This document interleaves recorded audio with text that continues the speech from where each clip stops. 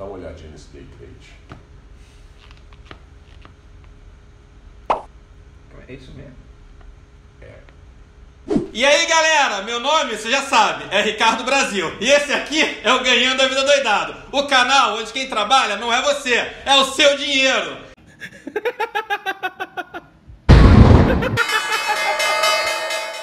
E hoje eu tô com a lenda! Quem é a lenda? Quem é a lenda? Quem é a lenda? A lenda é ele que grita pra c... meu irmão. Didi Aguiar, se lembra aí do reality show, ó? Põe aí, ó, Traders. Olá pessoal, começa agora o Traders, o primeiro reality show de bolsa da TV brasileira. Essa é a segunda edição do programa e nós já temos aqui os quatro traders que vão se degladiar. Cada um desses quatro traders terá direito a um pupilo bursátil, para no final de nove pregões saber quem conseguiu a melhor rentabilidade. Ó, esse cara aqui, ele fica se gabando que ganhou aquela porra. Você ganhou, não foi? Ganhei, Aquilo lá foi uma bosta fodida, meu irmão. Até minha tartaruga operava mais do que ele. Entendeu?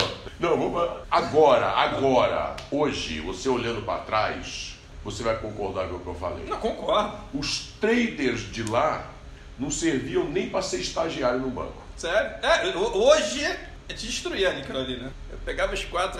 O programa sendo prejuízo, maluco. Cara ganha porque te- teve menos prejuízo. Viu, viu o nível da coisa, né, velho? Você ganhava o lucro do programa, maluco. Eu ganhei o broadcast ali que era patrocinador e o lucro era menos 15 mil. Fiquei com medo de ter que pagar a conta, maluco. Mas então, galera, quem conhece Didi aí, ó, Didi Aguiar. Já viu essa parada aí, ó, no Trid, no Pro, sei lá que programa tu usa? Já viu aí no teu, na tua plataforma Didi? Não sabe que parada é essa? Ó, ele que criou. Cara aqui é a Ford Friend Hand Springfield, rapaz. Não sabe falar. Como é que é? Tenta, mas não consegue. Então fala aí, todo Falar- mundo quer vou- saber que vou porra falar, é essa. Vou falar com a pronúncia inglesa. Falfani Hands Springfield Life Boy for Cats Plus Clap Down. Balfonfaris. Pronto, agora aprendeu? Agora aprendi, por favor. Vou dar o replay aí, já dá o replay aí, ó. Falfani Hands Springfield Life Boy for Cats Plus Clap Down. Balfonfaris. Eu vou tentar isso aí, é uma pós-graduação de trader. ó. Se tu não sabe fazer essa parada, melhor tu nem abrir um home broker. É verdade, é verdade. Vamos lá. Ela faz pergunta aí, vamos ver, mudar o assunto aqui. O que que tu tá, que que tu tá fazendo hoje em dia, Didi? Cara, eu estou montando essa startup que eu te falei lá nos Estados Unidos. Estou mexendo no segundo maior mercado americano, que é o mercado de automóveis. E hoje está muito em moda assim o negócio de disruptive markets. E acho que eu vou dar uma disruptada no mercado de carro americano, né? As empresas, a gente fez empresas só com é, é, parcerias para o nosso negócio, só com empresas, empresas enormes. E é basicamente unânime que o negócio vai ser uma pancada. Então, Estamos terminando aí a fase de captação. Legal. É um negócio que é muito trabalhoso e, e é espantoso o resultado disso. Já tem nome? Não por causa. Tem, vai chamar Rollmax. O que, que é o negócio? É, só rapidinho assim, nos Estados Unidos, o dealer, o vendedor de carros, se abastece nos leilões. Esses leilões de carros são de carros que são oriundos de leasing, oriundos de Ripple, uh, trade-in, ou carros que vendem é, de rent-a-car, essas coisas todas. São carros novos, poucos rodados. E esse carro custa 25% a menos no leilão. Só que só quem pode ao leilão é o dealer, você não pode. Entendi. Você vai comprar já com o preço cheio. Já com o preço cheio. Só tá? que agora eu estou fazendo um negócio que você vai poder comprar naquele preço. E tu Então, vai, vai uma coisa em 1, 2%? eu, vou, e- eu vou ganhar uma merrequinha de 200 dólares, Aham. você entendeu? Só que eu vou vender carro feito água. Entendi. Eu vou ser o Uber dos carros, o Airbnb. Do Airbnb dos carros. Você está entendendo? Eu vou ser o maior vendedor de carro dos Estados Unidos, eu acho, sem ter nenhum carro. É isso aí que nós estamos fazendo. Tá solteiro? Tô casado, tô casado. Porra, já ia dar um hashtag em Não, se eu cima de tivesse solteiro, Didi. eu casava comigo. Para de para dessa, maluco. Ouvi umas conversas aí, você tá achando que é, é milhão? É bilhão, maluco, é bilhão, ó. Vamos pra outra aqui, ó. Por que que tá fora do Brasil? Cara, eu fui embora do Brasil, em primeiro lugar que eu estava vendo Dilma Rousseff ganhar. Depois eu tomei três golpes, depois aí fez fileira, né? Pessoas que foram meus sócios, Aham. que saíram da empresa por qualquer motivo que seja. Lá- Um lá tempo da- da depois- Dogia, da Dogia. Isso. Depois fica sem dinheiro, não tem, inclusive um deles sentou na minha frente e falou, falou Meu, o que, que você tá fazendo isso comigo? Falou- Não é com você, é com a Doji. Eu falei, mas a Doji sou eu, é minha. Aham. ele falou assim, Já, Didi, tô precisando de dinheiro. né? Então é, é, é, é o golpe que é oficializado pela Justiça Trabalhista. Eu Isso daí que- realmente me deprimiu. Já chega lá, o Gugê já pergunta quanto é que tu quer. é, não, é o seguinte, bicho, é só gente que você ajudou. Gente que tá f... apanhado do marido, chegou de olho roxo, o outro que não sei o que, que tinha sido mandado embora e tal, você entendeu? E você ajuda as pessoas, é justamente quem te apunhala. Então é o seguinte, meu irmão, eu quero que se dane, fiquei depressivo, tive a minha conta bloqueada dias antes do Sério? Natal, quando já estava o judiciário de férias. E aí eu me emputeci, foi dia 18, me emputeci, comprei uma passagem pro dia 24 de dezembro, que era o único dia que tinha passagem, vim para os Estados Unidos, eu falei, Eu não volto mais pra aquela merda. Eu posso falar que meus pais tiveram empresa já, enfim, minha mãe, quem sabe falecido e tal, meu pai, enfim, quebrou lá a empresa. Mas, meu, era Natal, tinha um monte de coisa, outro Natal não tinha nada, porque funcionário que chegava assim, era de 10, 15 anos, frequentava lá em casa e tudo mais, e no final sempre era penhorava as paradas, né? irmão, sei o que. O Brasil entrou numa roubada fodida. Vamos ver se a gente endireita agora. Pô, agora a gente vai falar aqui fofocas da bolsa que eu vi lá no Traders, lá no, lá no reality show. Tinha uma história que tu contava lá pra gente que era muito. Se tiver outra, fala aí. Eu me lembro do terno marrom. que Tu falava que ninguém terno marrom dava certo Puta naquela que merda. Rapaz, isso aí é uma coisa que eu tenho certeza. Cara no mercado que usa terno marrom vai se cagar. Não tenho o que falar disso. Fiado! Mas eu tô toda cagada. Ou coisa azarada, coisa do satanás mesmo. Um dia eu tô operando de manhã, não sei o que, eu tava com um terno marrom, não sei porque eu comprei aquela merda. E o Chico Bala, que é um amigo meu de pregão, falou: De terno marrom, tu tá fudido. Amarrou no pregão, todo mundo morre. E eu de terno marrom fui lá operando, tava num banco, operei, eu perdi dinheiro, perdi dinheiro, perdi dinheiro. Quando eu reparei, eu tava com o terno marrom. Toda vez que eu botava aquele filha da puta, eu perdia dinheiro. Velho, fui pra casa na hora do almoço, troquei a porra do terno, botei um azul, peguei aquele marrom, picotei todo, botei dentro do saco, exorcizei a metade, eu joguei na porta da BMF. A outra metade eu fui com o saco, sentei em cima pra operar à tarde. Ganhei uma puta grana. Falando em BMF, tu opera, tu- eu só opero é, Mercado à Vista. Tu operou, tu operava BMF naquela época, tu continua operando. Meu irmão, eu faço qualquer coisa, meu irmão. Se é por dinheiro, a gente faz qualquer coisa. Ah, você opera de longo de curto. Meu irmão, onde é que tá o dinheiro? Ah, você opera Eu petróleo. opero, dá dinheiro? Ah, você opera merda em... Opero, se der dinheiro, eu opero. Tem muita ação aí que a merda importa. Sabe por quê? O cara, eu sou grafista, e o cara que é grafista é um especialista em assuntos diversos. Então o cara pode operar qualquer merda, Bacana. né? Legal. Aí mesmo. E, pô, aí vem outra pergunta aqui, ó.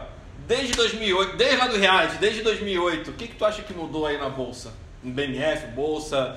Tá, mas assim, eu, eu nunca operei BMF, é, consegui me realizar ali na, na- no mercado à vista e tal, mas o que eu vejo é que o negócio é 10 vezes mais rápido, alavancado, enfim. Eu queria saber qual a sua percepção de 10 anos aí, o que que mudou? Olha, o que mudou que foi a, grande mudança nesse mercado aí para mim foi quando o mercado se tornou inteiramente eletrônico, e acabou com algumas festas que existiam na bolsa, no pregão, nas mesas de operações, ou até de esquentas frias e, sabe, roubalheiras em cima de existem ainda exi- existiam mil e uma maneiras de se roubar a fundação.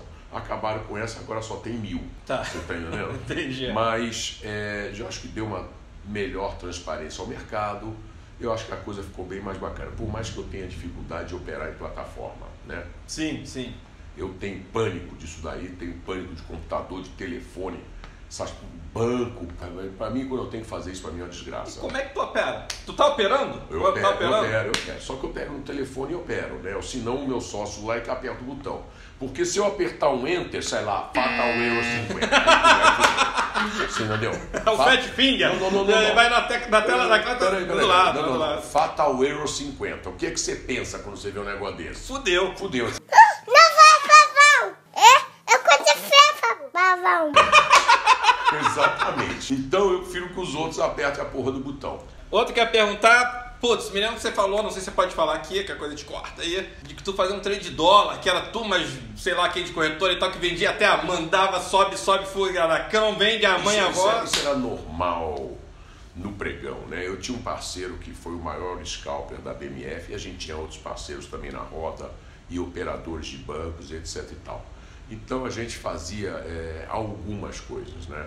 É, por exemplo, a gente operava, eu fazia minha posição, ele fazia dele também. A gente estava vendo que o mercado dali era para cair, a gente começava a amassar, amassar o mercado. Tinha aqui três operadores de três corretores diferentes, eu ficava lá, pregou a 500 e cala, pregou a 500 e cala, né? Apregou a 500 e calar, porque calou já não vale mais a oferta. Só que um dia desses, bicho, na hora que o cara pregou 500 só para achatar o mercado, veio o Nibanco atrás falou fechado. E aí eu fiquei numa posição que foi bem desagradável, né? E essa porra começou a subir, em mais ou menos 3 minutos eu tava perdendo 416 pau, eu me lembro. E a coisa acabou voltando, tal, legal, etc e tal. E o meu parceiro dizia para mim, Então é pra cair, então vai cair. Enquanto ele falava comigo, o mercado começou a voltar, porque realmente não era para subir. Outras pessoas estavam tentando fazer o rodamuinho na gente. Né? Aham. E, mas aí também não aguentaram, porque o mercado era para cair, voltou e tal. Só sei que na hora que eu desliguei o telefone, na hora do almoço, eu fui direto pro Barrador. Né? sério mesmo? Ah, sério, achando que eu tinha infartado, né? porque era uma dor aqui.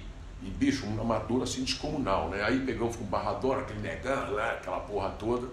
E aí, não sei que horas passou aquilo. E aí o, o médico dizendo assim, ó, Didi, tá tudo, nós fizemos, entrei naquela máquina que roda. Aí o médico falou, Didi, tá tudo perfeito, seu coração tá bom. Isso aí só tem uma motivação. Diz que a gente tem um prolapso. Eu achei lindo falar prolapso, que quando o coração mexe, quando tem muita adrenalina, em vez dele fechar, ele tranca, tal, qualquer coisa assim. E ele perguntou assim pra mim, Didi, o que, que você tá. Odir, né? Ele me chamava porque tava com duplo nome. O que, que você anda fazendo que tá produzindo tanta adrenalina? Eu falei, Bicho, você sabe o que é adrenalina? aí ele falou assim, Claro que eu sei. Eu falei- doutor, acho que o senhor não sabe não. eu fiquei atolado ali com 500 contratos de dólar, sem querer, é óbvio, né?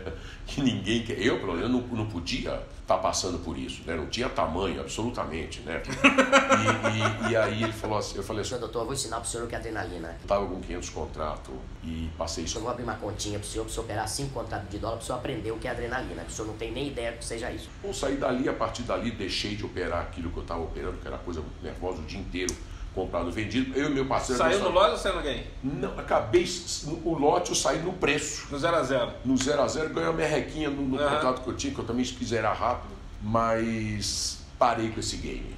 Onde eu pensei que eu, ia, que eu tava tendo infarto, e não era infarto. Foi por isso que tu foi lá pra Natal, que no Natal tinha alguma coisa do tipo, que você tava passando estresse, não sei o que e Eu tal, fui né? embora para Natal, fui fazer cinco anos de kite, que eu tinha que dar uma descansada, né?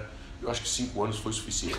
Só, só cinco aninhos de kite. Encontrei com ele em Natal, várias vezes, várias Tive vezes. férias, a gente precisa tirar umas férias de vez em quando, não é? Várias vezes. Pô, eu lembro bem, pô. Eu ia lá pra tua casa, um whiskyzinho, depois ah, churrascaria, Cigarro de arroz, cigarro de arroz. kitezinho, praia. Maravilha. E eu fazendo propaganda política. Bem feito. É, é, a, eleger a, ele, a prefeita de Mossoró, a Fátima, acho, nem lembro mais. Mas, enfim, pô, tu morou cinco anos lá. Continua com o apartamento lá, não? Não, E, vamos lá. Ah, falando aí, falando lá do, do passado. Tu começou num banco, tinha a Naginarras no A Naginarras estava no meio. Não era isso? Tu era tesoura- da tesouraria. Olha só, eu entrei para o mercado como estagiário do extinto Crefsul. O Crefsul, na verdade, era a perna do Citibank no Brasil, porque naquela época não podia ter banco estrangeiro. Aham. Aparentemente, o banco era do Henrique Sérgio eh, Gregory, que era o dono da Xerox. Aham. E o banco era o, era o banco mais ativo, né? era, o, era o Garantia, vamos dizer, era o Pactual, aí, o JP Morgan aí do mercado. Né? E foi lá que eu comecei. Né? E, e trabalhei no câmbio, trabalhei de Open, fui para a mesa de bolsa, fui para a financeira.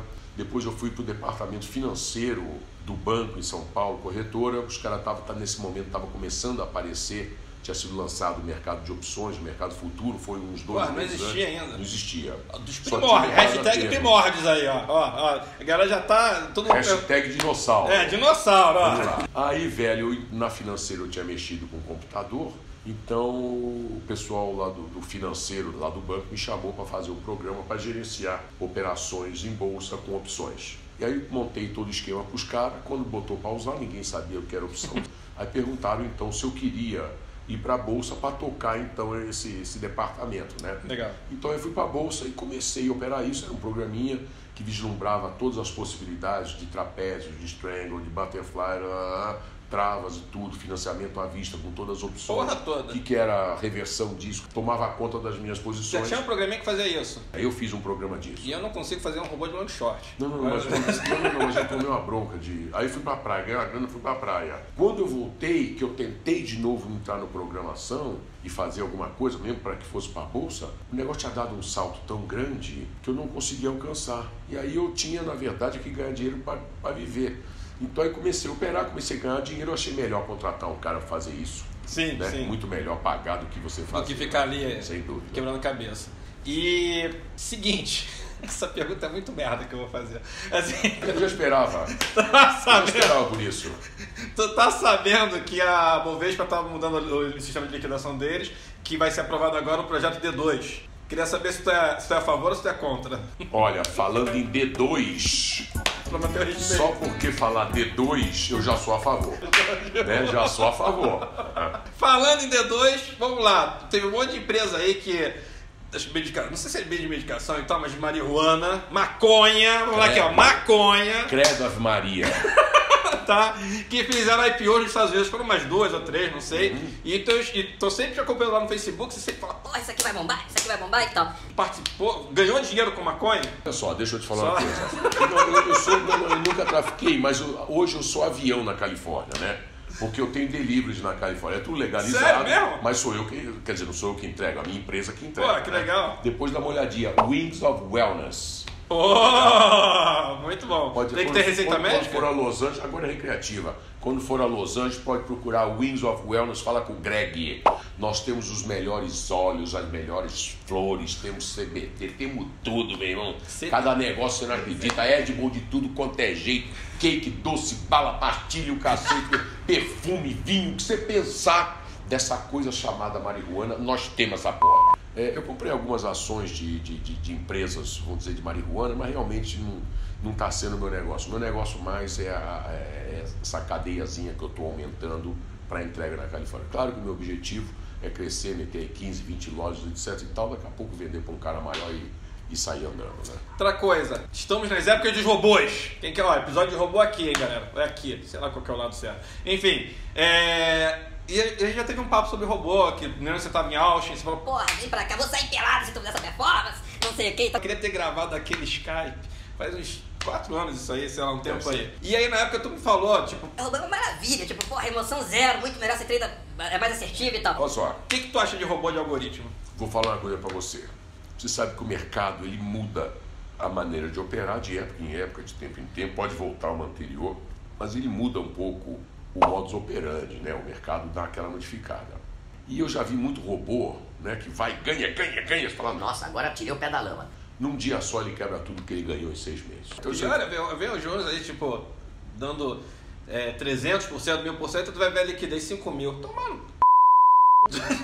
É, eu tenho robôs que, na verdade, fazem uma lavagem no mercado. Eu tenho um robô, por exemplo, que ele olha 18 mil papéis por dia e leva duas horas, duas horas e 15 mais ou menos para rodar tudo isso. E ele avalia se é uma agulhada ou não, que eu quero pegar as agulhadas, se é uma agulhada ou não, se tem tendência subinte ou não, se o Bollinger está abrindo com a situação dos outros, etc e tal. Então, mas na verdade, esse robô que a gente está querendo fazer para operar, a gente tem algumas dificuldades, né? Eu sei bem, Porque tem- parece que, que é brincadeirinha, mas não é. Por exemplo, um Bollinger. Se você olha um Bollinger que as bandas estão assim, você olha e fala, Elas são paralelas. Mas se você for fazer conta aqui, você vai ver que essa daqui caiu 0,00 cocô. E a máquina já entende que aquilo aumentou, que abriu a banda de Aham. bola. Acaba te dando uma informação, uma informação que se você tivesse no olhômetro, você diria, E não abriu p nenhuma. Entendi. isso começa a te fuder. Na questão de ADX, na questão de bola, uma série de coisas, tem que montar quantos, o que, que a gente fez, montou, quantos pixels tem na tela para poder medir ângulo, de- para poder medir ângulo, para poder ver se a abertura a gente aceita como abertura ou não, no mínimo 30%. de Pô, eu tô ângulo, falando no robô assim, só dando uma ideia aqui, que o meu robô, ele é, assim, eu tenho as fórmulas em Excel, que faz um programador também, que eu tô vendo que você realmente usa o gráfico, você literalmente usa o gráfico na tela nesse teu robô. Isso. Que não, é é- tudo calculeira. Ah né? tá, não, que os meus Tudo vai calculeira. fica na calculadora, talvez você O resolvesse gráfico não aparece. esse problema, É tá. só calculeira. Tá, legal. Não, mas se aparecesse no gráfico, ia aparecer uma banda que visualmente a gente diria Entendi, entendi. que estava entendi. fechada e o robô estava dizendo que estava aberto. né? Entendi. Então isso é um detalhe né, de um dos robôs. Então eu, sinceramente, eu gosto muito porque tem muita gente usando robô e ganhando dinheiro,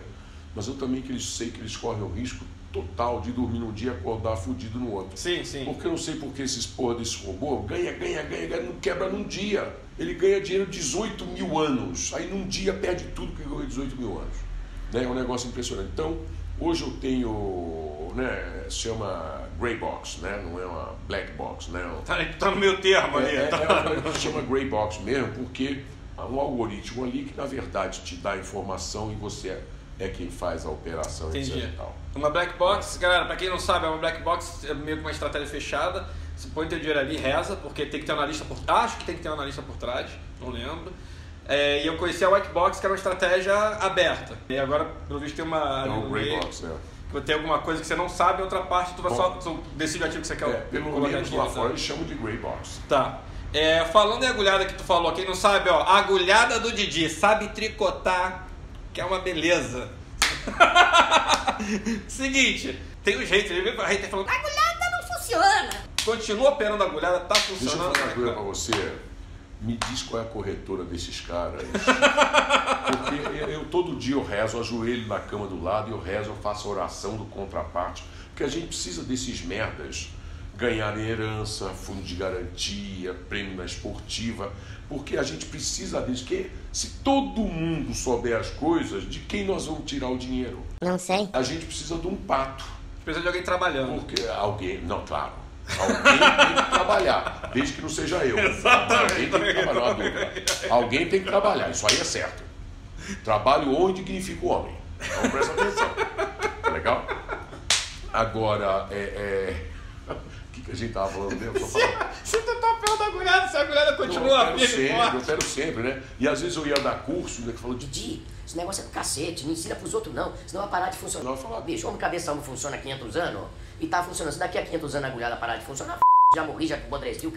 Isso é interessante, interessante você falar isso, porque eu tô. Eu inventei uma técnica de long shot. Long shot é super conhecido, conhece o long shot. Eu Vou perguntar só pra fazer jabá mesmo. Mas você faz como? Você faz indexando? Eu indexo, mas eu não vou dar. Ó, quem quiser comprar aqui a mentoria. Não precisa é, comprar mentoria, não. Não precisa comprar mentoria, não. Faz o meu curso que eu te ensino a fazer essa merda, né? Com integração, não precisa perguntar pra esse viado aqui, o caralho. Faço é o seguinte: eu pego, tem dois desvios ali.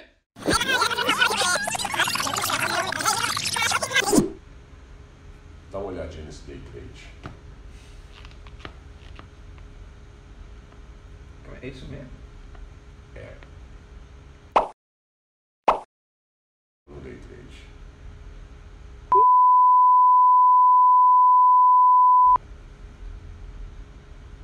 Sou seu fã. Meu irmão, juro por Deus, bicho. Olha só, o filho da puta diz que não usa gráfico, não, que o negócio dele é estatístico, mas ele só compra em cima de. Quer dizer, o cara é um puta de um orelhudo. Não, vou mostrar pra vocês como é que a gente conhece um orelhudo. Tá legal? Vou falar pra vocês. Né?